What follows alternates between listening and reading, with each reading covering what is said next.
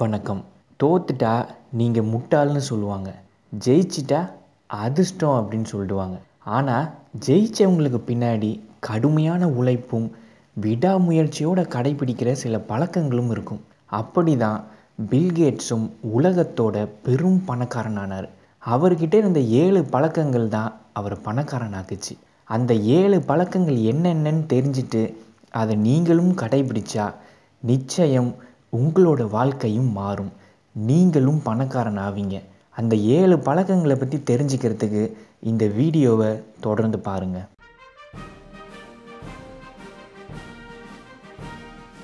பழக்கம் ஒன்று வாய்ப்புகளை சரியாக பயன்படுத்திக்கணும். ஆயிரத்தி தொள்ளாயிரத்தி எழுபத்தி அஞ்சில் பாப்புலர் எலக்ட்ரானிக்ஸ் அப்படின்ற நிறுவனம் விரைவில் தங்களோட முதல் கம்ப்யூட்டர் விற்பனைக்கு வரப்போகுது அப்படின்னு செய்தித்தாளில் விளம்பரம் கொடுக்குறாங்க. கம்ப்யூட்டர்கள் நிச்சயம் பிரபலமடையும். கம்ப்யூட்டர்களை உருவாக்குற நிறுவனங்களுக்கு மென்பொருள் எழுதி விற்றா பெரும் பணம் சம்பாதிக்கலாம் அப்படின்ற யோசனை பில்கேட்ஸ்க்கு வந்தது. விரைவில் விற்பனைக்கு வர இருக்கிற கம்ப்யூட்டருக்கு புது ஆப்ரேட்டிங் சிஸ்டத்தை உருவாக்கணும் அப்படின்னு பில்கேட்ஸ் ஆசைப்பட்டார். ஆனால் அந்த காலகட்டத்தில் பில்கேட்ஸ் உலக புகழ்பெற்ற ஆர்வர்ட் பல்கலைக்கழகத்தில் படிச்சுக்கிட்டு இருந்தார். மிகப்பெரிய ஒரு முடிவை எடுக்கிற தருணம் அவர் முன்னாடி இருந்தது. அவர் முன்னாடி ரெண்டு பாதைகள் இருந்தது. அதில் ஒன்றை மட்டும்தான் அவர் தேர்ந்தெடுக்கணும். முதலாவது பாதை என்ன அப்படின்னு பார்த்தா ஹார்வர்டில் படித்து முடித்தா உலகம் முழுக்க அங்கீகாரம் உண்டு மரியாதை உண்டு நிறைய பணம் சம்பாதிக்கலாம். பெற்றோர்கள் நண்பர்கள் உறவினர்கள் எல்லாருமே பாராட்டுவாங்க. அவர் முன்னாடி இருந்த ரெண்டாவது பாதை என்ன அப்படின்னா படிப்பை நிறுத்திட்டு புது ஆப்ரேட்டிங் சிஸ்டம் உருவாக்குறதுல முழு கவனத்தையும் செலுத்தி பாப்புலர் எலக்ட்ரானிக்ஸ் நிறுவனத்துக்கிட்ட காட்டி கம்ப்யூட்டர் மென்பொருள் வியாபாரத்தில் கால் பதிக்கிறது. இந்த பாதையை தேர்ந்தெடுத்தா ஆர்வடை விட்டுட்டியேடா இது உனக்கு தேவையா அப்படின்னு நண்பர்கள் கிண்டல் அடிப்பாங்க. பெற்றோர்கள் திட்டுவாங்க. உறவினர்கள் சிரிப்பாங்க. இந்த ரெண்டு பாதையில் ஒன்று தான் பில்கேட்ஸ் தேர்ந்தெடுக்கணும். எதை பற்றியும் கவலைப்படாமல் தன்னுடைய லட்சியத்தை அடையணும் அப்படின்ற ஒரே சிந்தனையில் தான் பில்கேட்ஸ் முடிவெடுத்தார். ஹார்வர்ட் பல்கலைக்கழகத்திலிருந்து விலகிட்டார். தன் நண்பர் பால் ஆலனுடன் சேர்ந்து இரவு பகலாக அயராமல் வேலை செஞ்சு பேசிக் அப்படின்ற ஆப்ரேட்டிங் சிஸ்டத்தை பில்கேட்ஸ் உருவாக்குனார். அதாவது அவர் முன்னாடி இருந்த வாய்ப்பை பில்கேட்ஸ் சரியாக பயன்படுத்திக்கிட்டார். உலகத்தோட பெரும் பணக்காரனாக மாறினார். நீங்களும் உங்களுக்கு வர வாய்ப்புகளை சரியாக பயன்படுத்திக்கோங்க. அப்புறம் பார்த்துக்கலாம் அப்படின்னு தள்ளி போடாதீங்க. ஏன்னா சில வாய்ப்புகள் உங்கள் வாழ்க்கையில் ஒரே ஒரு முறை தான் வரும். ரெண்டாவது பழக்கம் லட்சியத்தை மனசில் பதிய வைக்கணும்.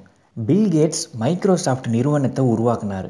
நிறுவனத்தோட லட்சியம் ஒன்றே ஒன்று தான் ஒவ்வொரு வீட்லேயும் கம்ப்யூட்டர் இருக்கணும் அப்படின்றது தான் பில்கேட்ஸோட லட்சியம். ரெண்டாயிரமாம் ஆண்டில் பில்கேட்ஸும் அவரோட மனைவியும் Bill and Melinda Gates Foundation அப்படின்ற ஒரு தொண்டு நிறுவனத்தை ஆரம்பித்தாங்க அதுலேயும் கூட அவர்களோட லட்சியம் ஒன்று தான் உலகத்தில் கஷ்டப்படுற அனைத்து மக்களுக்கும் தங்களால் முடிஞ்ச உதவியை செய்கிறது தான் அவங்களோட ஒரே லட்சியம். நீங்களும் உங்களோட லட்சியத்தை உங்கள் மனசில் ஆழமாக பதிய வைங்க. மூணாவது பழக்கம் எது தேவையோ அதில் மட்டும்தான் கவனம் செலுத்தணும். ஒருத்தன் தன்னுடைய லட்சியத்தில் முழு கவனத்தையும் செலுத்திட்டான் அப்படின்னா அவனோட வெற்றியை யாராலும் தடுக்கவே முடியாது. உலக புகழ்பெற்ற ஆர்வர்டு பல்கலைக்கழகத்தில் படித்து பட்டம் பெறுவது அப்படின்றது ஒரு மிகப்பெரிய கௌரவம் மிகப்பெரிய அங்கீகாரம். இருபது வயது இளைஞரான பில்கேட்ஸும் அதையே செஞ்சிருக்க முடியும். அந்த பாதையில் போனால் கண்டிப்பாக எதிர்காலம் நன்றாக இருக்கும் அப்படின்றது பில்கேட்ஸ்க்கு தெளிவாக தெரியும். ஆனால் அவரோட லட்சியம் அது இல்லையே. கம்ப்யூட்டர் மென்பொருள் உருவாக்கி ஒவ்வொரு வீட்டுக்கும் கம்ப்யூட்டரை எடுத்துகிட்டு போகணும் அப்படின்றது தான் அவரோட லட்சியம். தன் ஒட்டுமொத்த கவனத்தையும் அதில் மட்டும்தான் செலுத்தினார். அதை அடைய என்ன செய்யணுமோ அதை மட்டும்தான் அவர் செஞ்சார்.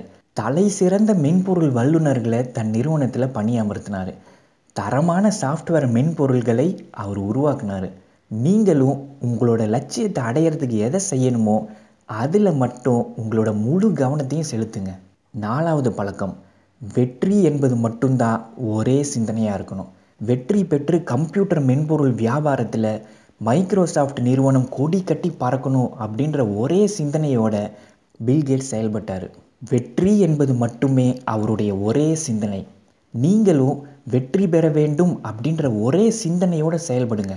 தோல்வி அடைஞ்சிடுவோமோ அப்படின்ற எதிர்மறை எண்ணங்கள் வந்தால் அதை கண்டுக்காதீங்க. காலப்போக்கில் அந்த எதிர்மறை எண்ணங்கள் உங்களை விட்டு ஓடி போயிடும். ஐந்தாவது பழக்கம் முதல்ல தெளிவாக புரிஞ்சுக்கோங்க. ரெண்டாயிரமாம் ஆண்டில் Bill and Melinda Gates Foundation அப்படின்ற தொண்டு நிறுவனத்தை பில் கேட்ஸ் உருவாக்குனார். கம்ப்யூட்டர் உலகத்தில் எனக்கு நிறைய அனுபவம் இருக்குது ஆனால் ஒரு தொண்டு நிறுவனத்தை எப்படி பயனுள்ளதாக நடத்துறது பாதிக்கப்பட்ட எல்லாருக்கும் எப்படி சிறப்பாக உதவுறது அப்படின்றது எனக்கு தெரியவே தெரியாது.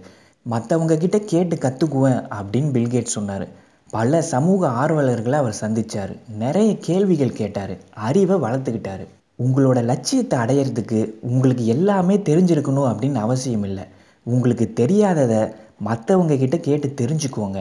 உங்ககிட்ட ஆணவ எண்ணம் இருந்தால் அதை தூக்கி எரிஞ்சிடுங்க நீங்கள் கேட்டால் உதவி பண்ணுறதுக்கு இந்த உலகத்தில் பல நல்லவர்கள் காத்துக்கிட்டு இருக்காங்க. ஆறாவது பழக்கம் பிறரோட கை கோர்த்து செயல்படுவது. ஒரு கையை தட்டினா ஓசை வராது அப்படின்றது பில் கேட்ஸ்க்கு நல்லாவே தெரியும்.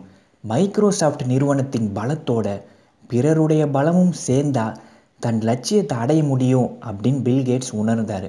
கம்ப்யூட்டரை உருவாக்குற பிரபல நிறுவனங்களான ஐபிஎம் மற்றும் டெல்லுடன் அவர் கைகோர்த்து செயல்பட்டார். மைக்ரோசாஃப்ட் நிறுவனத்துக்கு லாபம் அதிகரித்தா ஊழியர்களுக்கும் போனஸ் இருக்குது அப்படின்னு அறிவித்தார் பங்குதாரர்களுக்கும் போனஸ் இருக்குது அப்படின்னு அறிவித்தார் தன்னுடைய பலத்துடன் பிறருடைய பலத்தையும் மிக சிறப்பாக இணைத்து தன் லட்சியத்தை பில்கேட்ஸ் அடைஞ்சார். முக்கியமாக தன்னுடைய நெருங்கிய நண்பர் ஸ்டீவ் பால்மருடன் முப்பத்தஞ்சு வருஷம் அவர் இணைந்து செயல்பட்டார். ரெண்டு பேரும் தனித்தனியாக செயல்பட்டிருந்தா மைக்ரோசாஃப்ட் இவ்வளவு பெரிய சாதனையை செஞ்சுருக்க முடியாது. ஒன்றும் ஒன்றும் தனியாக செயல்பட்டால் கடைசி வரைக்கும் அது ஒன்று தான் ஆனால் ஒன்றும் ஒன்றும் சேர்ந்தா அது ரெண்டு ஆகும் எனவே நீங்களும் பிறரோட கை கோர்த்து செயல்படுங்க. உங்களோட லட்சியத்தை உங்களால் கண்டிப்பாக அடைய முடியும். ஏழாவது பழக்கம் மூளையை பட்டை தீட்டிக்கணும் ஒரு அருவாளை எடுத்துக்கிட்டு மரங்களை தொடர்ந்து வெட்டிக்கிட்டே இருந்தால் அருவாளோட கூர்மை குறைஞ்சிக்கிட்டே இருக்கும். மரத்தை வெட்டுற நேரம் அதிகரிச்சுக்கிட்டே இருக்கும். எனவே அடிக்கடி அந்த அருவாளை பட்டை தீட்டி கூர்மையாக்கணும். ஆயிரத்தி தொள்ளாயிரத்தி எண்பதுகளில் மைக்ரோசாஃப்ட் நிறுவனத்தோட வளர்ச்சி நாளுக்கு நாள் அதிகரிச்சுட்டே இருந்தது. எவ்வளவு பிஸியாக இருந்தாலும் அவ்வப்போது பில் கேட்ஸ் ஒரு வாரம் விடுமுறை எடுத்துக்கிட்டு ஓய்வெடுப்பார் நிறைய புத்தகங்களை படிப்பார். நிறைய சிந்திப்பார். அறிவை மேம்படுத்திக்கணும் திறமையை மேம்படுத்திக்கணும் அப்படின்றதுல பில் கேட்ஸ் ரொம்ப கவனமாக இருந்தார். அதுதான் அவரோட மிகப்பெரிய செல்வம் அப்படின்றது அவருக்கு நல்லாவே தெரிஞ்சிருந்தது. நீங்களும் பணக்காரன் ஆன அப்புறமும் கூட இருக்கிற அறிவு போதும் அப்படின்னு சும்மா இருந்துடாதீங்க. அவ்வப்போது அறிவை மேம்படுத்திக்கிற புத்தகங்களை படிங்க. உங்களோட துறையில் உங்களை விட அதிக அனுபவம் இருக்கிற மக்களை சந்தித்து பேசுங்க.